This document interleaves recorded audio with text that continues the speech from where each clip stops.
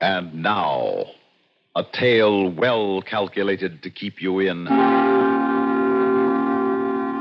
suspense. I know. I know, according to all natural laws, it's impossible.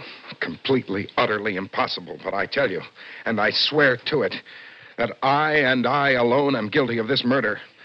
As guilty as though I'd killed him with my own two hands. So you must tell them, the police. You must tell them. Because they'd never believe me. Because it is impossible. But it happened. Listen now to Act One of Dreams, starring Philip Sterling, and written especially for suspense by Jack Bundy.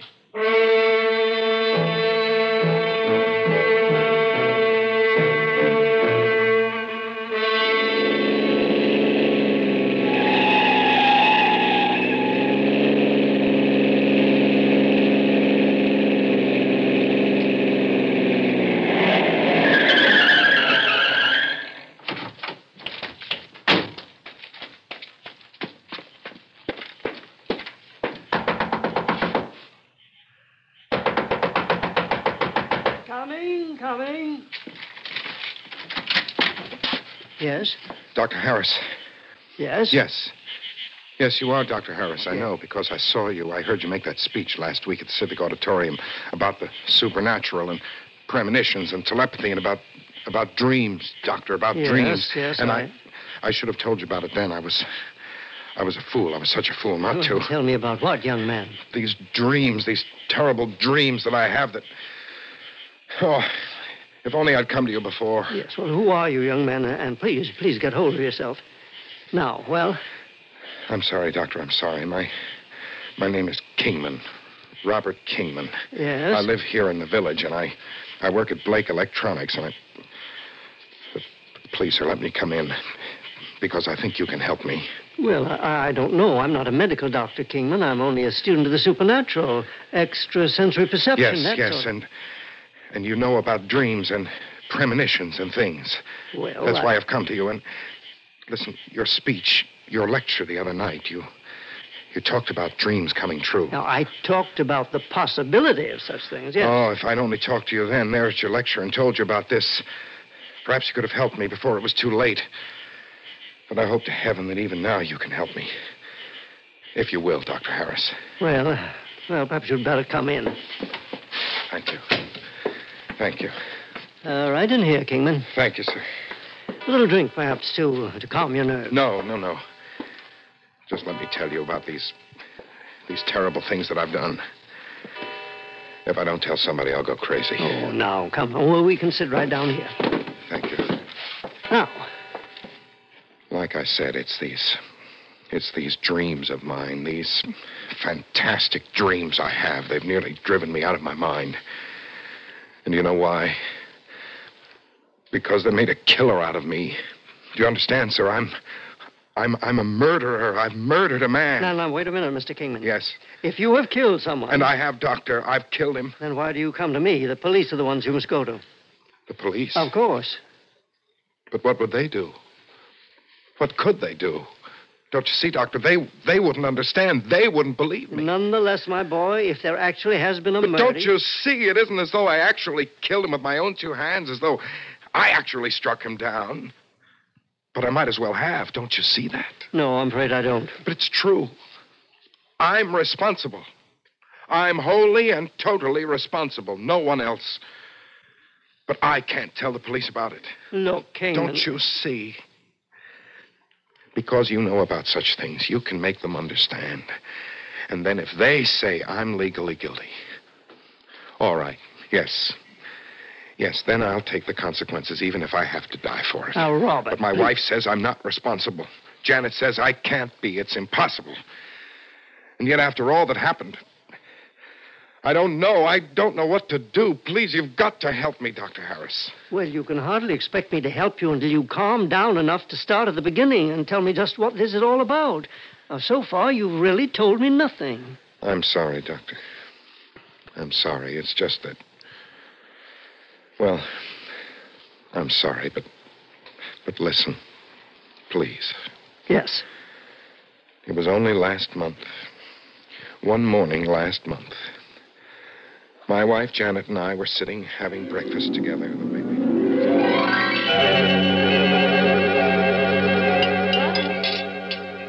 Darling, why aren't you eating your breakfast? Isn't everything all right? Huh? What? Oh, sure, sure. Of course it is, honey. Then why aren't you eating? The way you've been sitting there, staring into space. Something wrong, darling? Wrong? No, no, of course not, Janet. I, I guess I'm just not hungry this morning. That's all. Is it? Sure. That isn't true, dear. Something is wrong. Now, what is it, Bob? Janet, do you remember that funny dream I had about a week ago? You mean about my brother Walter falling down the steps and breaking his wrist? Yes, Well, I'd, I'd hardly call it funny. I know because that's exactly what happened to him the very next day. I dreamed it, and then it happened. Uh huh. It was a real strange coincidence. Only it wasn't. It wasn't coincidence, Janet. But it must have been. No, dear. Had I ever before told you about a dream of mine? No, I guess not. Honey, that was the first dream I'd had since I was just a little kid. When I was a kid, I had dreams all the time that came true, like the one about Joey Prentice, the boy next door, just before he drowned in Parvin's Pond. Like the one of my father before he died. I dreamed only when something like that was going to happen. Even so, so, darling. don't you see, Janet, the one about your brother was far more than just a dream. It was a definite premonition. Well, maybe it was, and, and probably it wasn't. Anyhow, you and I know better than to believe in, in premonitions. So, so just forget it, dear, and and eat this nice breakfast I've fixed for you. hmm? No. It's not that easy, I'm afraid. Why not? Last night, dear, I had another dream. And if it comes true. Oh, now, honey, don't sit there and tell me you've actually lost your appetite just because of a dream you had. Yes. But, darling, that's silly. Unless it was a, a horrible nightmare. No, no, it wasn't a nightmare. But the dream was all so clear. I had a fight with Stanley Bolton. Bolton. Yes. He's not only head of research, but a vice president, too. And the one man who could block the promotion promised me by Mr. Blake. Oh, Yes. but just a dream, dear. That promotion means everything to me, Janet. To both of us. Of course it does. You've worked for it and, and you've earned it. But surely something you happen to dream about isn't going to keep you from getting it. I wonder. Well, just stop wondering right this minute, Robert Kingman, and eat your breakfast. It is kind of silly, you know, isn't it? Really, if you if you take the time.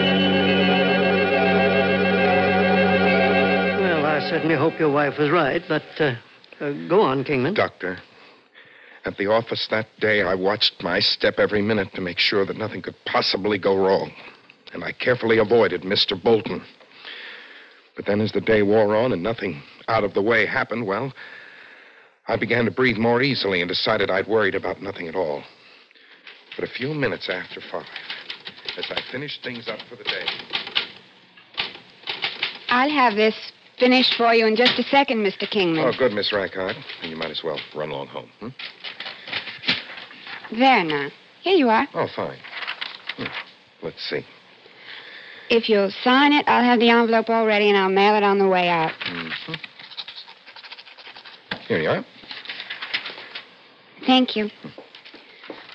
Well, good night, Mr. Kingman. Good night, Miss Rackard. Out of my way, Reichard. Excuse me. All right now, Kingman. Hmm. Yes, Mr. Bolton. Why haven't I received the foreign sales records for last month? Well, today is only the 8th, Mr. Bolton, and we don't usually put together these reports until we have... Today is only the 8th. Well, how nice of you to tell me. But, Kingman, if Scoville is to take those records with him to the Toronto office tomorrow, he's got to have them immediately and in perfect order. Scoville? Toronto? I didn't know anything You about a didn't know. You think that's any excuse? But I'm usually notified if someone needs material like that. Negligent, that's the trouble with you. Utterly irresponsible. What? Well, Mr. And you're the one that Mr. Blake was considering for promotion, hmm? Well, I'll soon put a stop to that. Mr. Bolton, I... Scoville is leaving on the 240 tomorrow. And if those figures aren't ready for him, you'd better look for another job. And then, Kingman, what happened then? The next morning, Mr. Blake called me in and politely told me the promotion would have to wait. Perhaps another year until Mr. Bolton was better satisfied with my work. Well, I'm sorry, but now, look, my boy, if that one incident, that coincidence about Coincidence? Yes, if that's all that brought you here to see me, so upset and so Didn't worried. you hear me? Don't you understand? That was only the beginning of the dreams that have made me a killer. And when you hear the rest of the terrible things I've dreamed about that have happened,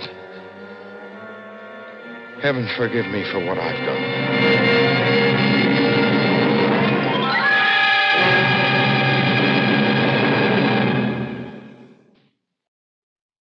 In a moment, we'll return for Act Two of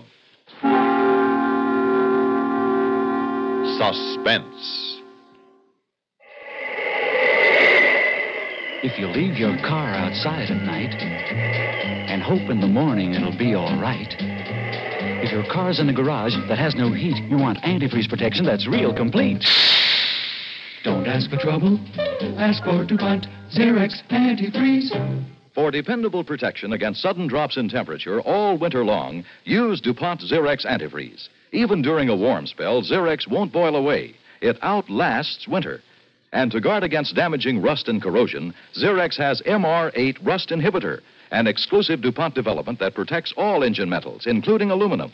So, for safe, dependable protection, do as millions of motorists have done for over 20 years. Ask for Zerex antifreeze. It's made by DuPont. Remember, For cars left out at night or in unheated garages. Don't ask for trouble. Ask for DuPont Zerex antifreeze.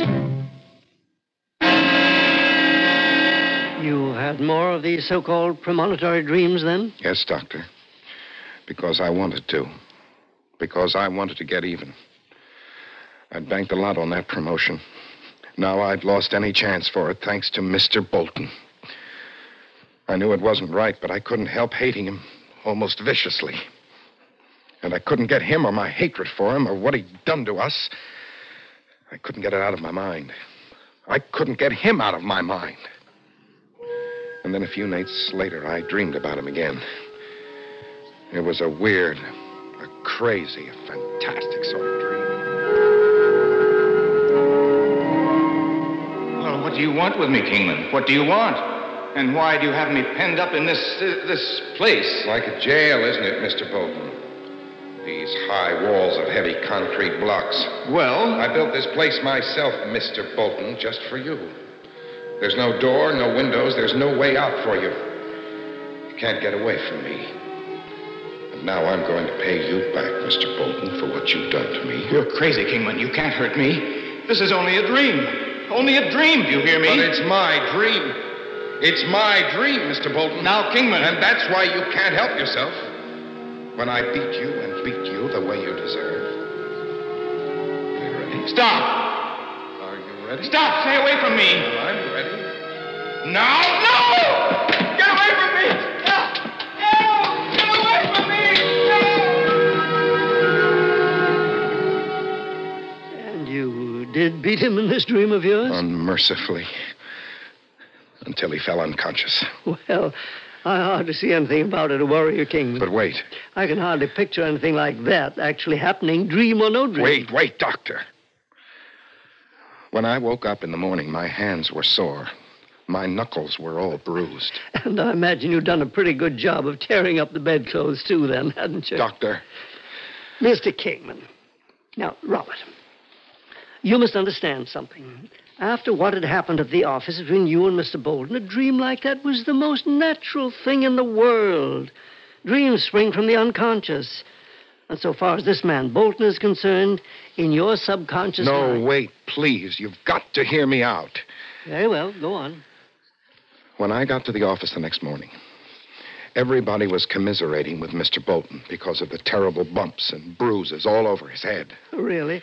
Well, and how did he explain them? He said that he'd fallen out of his bed during the night, but with all those bruises, he'd have to have fallen out a dozen times. And then when he saw me, Doctor, it was just as though he knew. It was just as though he knew that I had somehow made it happen to him. And from that point on, he never let up on me. Day after day, everything I did was wrong. No, now, now, wait a minute. No, Doctor. I began to hate him more bitterly than anything or any person I'd ever hated before. It became an obsession. I couldn't shake off. And then suddenly it dawned on me. All my dreams had come true. And that meant my dreams would come true. Whatever I dreamed would have to come true. So from that moment on, I knew what I had to do. I knew that I would never have any peace until I dreamed about, and therefore brought about, the death of Stanley Bolton.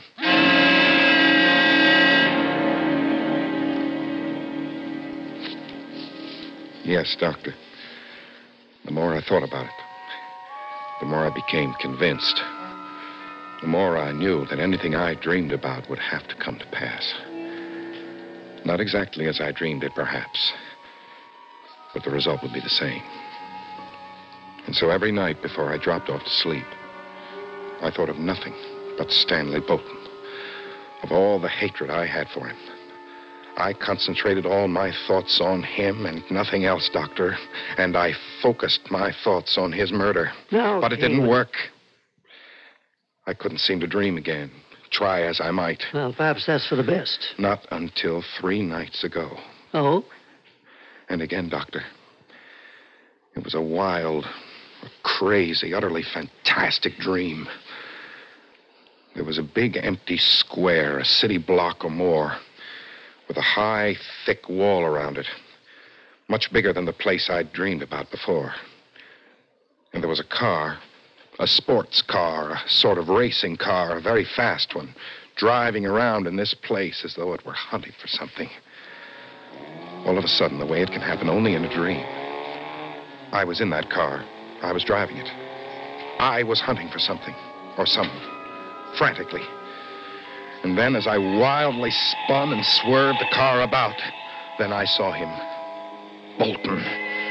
And he knew me, and he knew I was after him, and he knew that this time he wouldn't get away alive. Stop! Stop, you fool! You run me down! Run!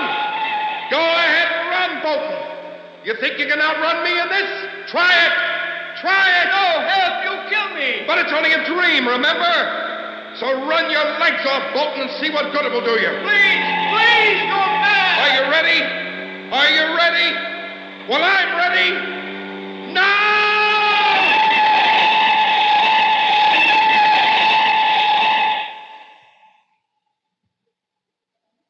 Well, well, Kingman. The next morning, when I got to the office, I learned that Mr. Bolton had been killed. What? Yes. By some hit and run driver in a sports car. Good heavens. Yes. And do you know why, Doctor? Because of my dream. Because it's what I wanted to dream. So I'm guilty of Stanley Bolton's murder. No, no, you aren't. You had nothing to do with the car that ran him down. Of course I didn't, but I'm still to blame. How can you be? Because I am. Because now. Now I have proof that I am. Proof? Yes. Because last night I dreamed again. Yes. I dreamed that for what I'd done, I was electrocuted. What can I do? Doctor, what can I do? I don't know. I don't know. I must have time to think about this. But you believe me. You believe me what I've told you. Yes, yes, Robert, I believe you. And I believe you need help. If I go to the police, if they believe me, it can mean only one thing the death penalty. Electrocution. Now, now, now, Robert, listen to me. You may feel any way you wish about this whole gruesome affair. And because of the strain it's imposed on you, I can understand why you're why you're so upset about it. But we've got to be realistic about this. Now, legally, there is no possible way in which you could be found guilty of Bolton's murder. So first, we have to think about you, about how to ease your mind, your conscience of this. th- Oh, wait now. What? Of course, I should have thought of him when you came here. Yes, Doctor? Someone who can help me? Robert, I know it's late, but I want you to go and see an old friend of mine. His name is Thaddeus Hagen. Hagen? You, you know him? The psychiatrist? Yes. Well, I've heard of him, but Doctor. I want you to go to him alone. I want you to tell him exactly what you've told me. I'll phone him that you're coming, in spite of the hour, and I promise that I'll tell him nothing whatever about the case. I'll only ask him that he call me after he's talked with you. You think I've gone crazy? No. No, not by any means, but this whole experience has upset you badly, as it would anyone. And the most important thing at the moment is to get you back into the frame of mind where you can where you can face this thing with your fullest capacity for sound judgment. Because you must work this out for yourself, Robert. But not in your present state of mind. Will you go and see Hagen? For your own sake, Robert. Yes. Now? Now. Good. I'll give you his address. It's only a few miles from here. And you must tell him that I'll be waiting to hear from him.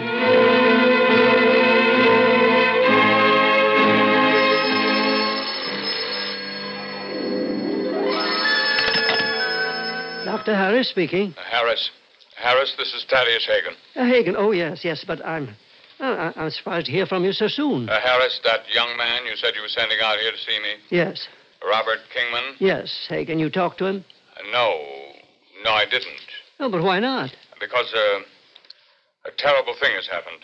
Well, well, what is it, man? What, what is it? Harris, the new high tension power line the electric company strung across my property, Oh, 22,000 volts. Hagen. Yes. One of those lines broke. It fell across my front walk, and there in the darkness, he couldn't see it. He stumbled into it. Good Lord. He was killed immediately, Harris. Electrocuted.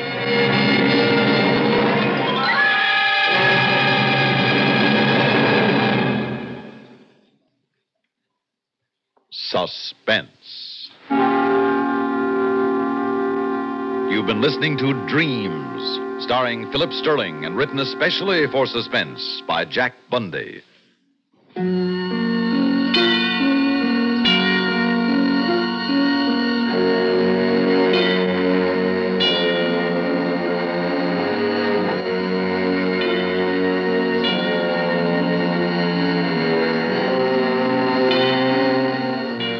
Suspense is produced and directed by Bruno Zirato Jr., music supervision by Ethel Huber. Heard in tonight's story were Edgar Stehli as Dr. Harris, Connie Lembcke as Janet, Richard Kendrick as Mr. Bolton, Raymond Edward Johnson as Thaddeus Hagen, and Barbara Cassar as the girl. Listen again next week when we return with Seeds of Disaster, written by David Hill. Another tale well calculated to keep you in suspense. Carelessness causes forest fires. Only you can prevent them. This is the CBS Radio Network.